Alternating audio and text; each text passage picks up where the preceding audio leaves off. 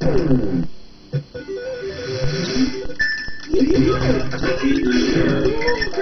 you.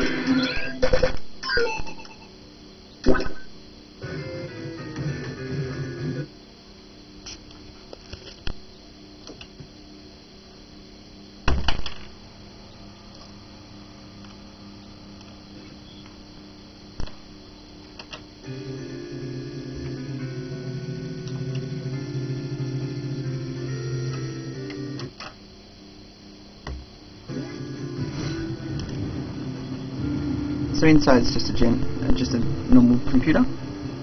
I've got my arcade VGA. Down in the back there, I have my J-PAC, which converts everything for me.